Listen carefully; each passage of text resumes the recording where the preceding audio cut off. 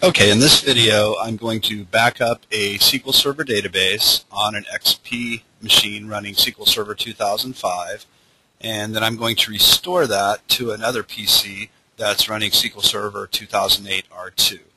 A quick look at the environment here. Uh, the Windows XP machine is running SQL Server 2005. Um, the, I have a Dell Blade server that's running SQL Server 2008 R2 and then I have the Windows 7 machine that I'm on now. Uh, that's running SQL Server Management Studio, and I'm connecting to my SQL Server 2008 R2 on my Blade server. Okay, the steps involved here is I'm going to remote into the XP machine. I'm going to open SQL Server Management Studio 2005. I'm going to back up a Tutoring 12 database to a local folder there.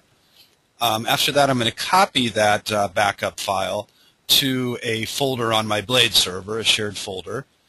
Uh, then I'm going to go back to my Windows mach uh, 7 machine here. I'm going to open SQL Server Management Studio, uh, connect to that SQL Server 2008 R2 instance that's running on the Blade server, and then I'll restore the database uh, from my backup folder to a database I'm going to call Learning Commons 12.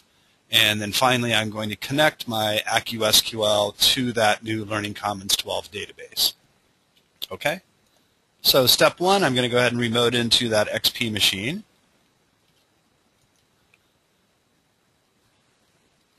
Okay, and open SQL Server Management Studio. Log in as SA. Okay, so here's a look at my databases. And I'll take this David 1201 tutoring and I want to right click on that database and I'm going to click backup. Okay, so here, now I already have one, I'll remove that. But I'm going to go ahead and add a folder to back it up to, back up to disk. And then browse out to my folders. Now I have a folder here that I'm calling SQL backups, okay, and then I can add the name. So David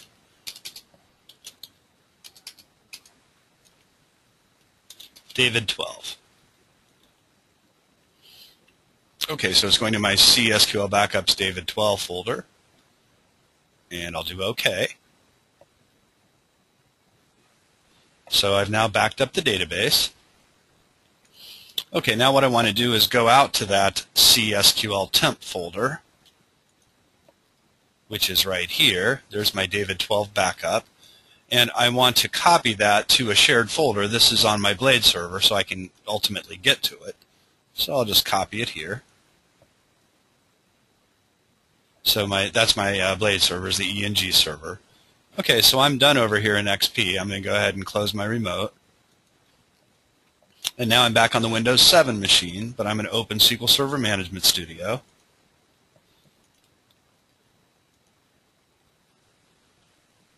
And as you can see, I'm connected to my Blade server here to a SQL Express uh, version of SQL Server 2008. So I'll go ahead and connect to that. Okay, so here's a list of my databases. But I'm going to right-click now on Database, and I'm going to do a restore database right here. Okay, and I can call that whatever I want.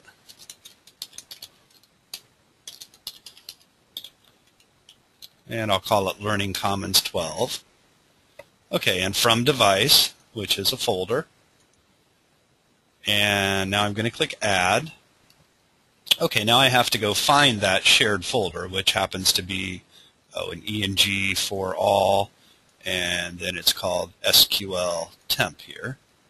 Okay, now I don't see that BAK file, but I'm going to pick all files here, and there it is. Okay, I didn't have a BAK extension on it, but this is the one, David 12.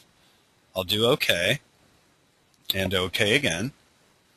Okay, now I'm going to click the Restore checkbox here, and I've already got my database name. I'll do OK. So now it's restoring uh, that backup into this new uh, SQL Server 2008 instance on the Blade server. Okay, so now it's successful. And here's my Learning Commons 12, and I can look, I've got all my tables and everything in there. Okay, so I'm going to close SSMS now. And now on my same Windows 7 machine, I'm going to go out to the folder where AccuSQL 12 is. And I've got a little utility here that's called set data path. So I could run that and set the database. But let's go ahead and open AccuSQL just so we can see the change. Now this says the Learning Commons. So I may have already set it to that. Let's take a look. If I go to database, database location, uh, no, I'm pointing actually to a SQL Server or tutoring 11203, but I'll just pick my list, and there's my Learning Commons 12. So I can test and save that. And now when I exit and re-enter AccuSQL 12, I'll now be connected to that Learning Commons 12 database.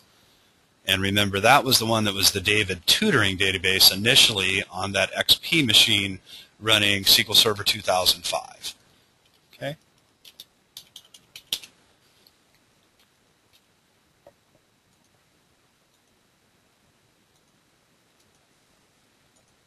And I verify indeed that I am connected to that Learning Commons 12 database. Okay, and that's all there is to it. Okay, thank you.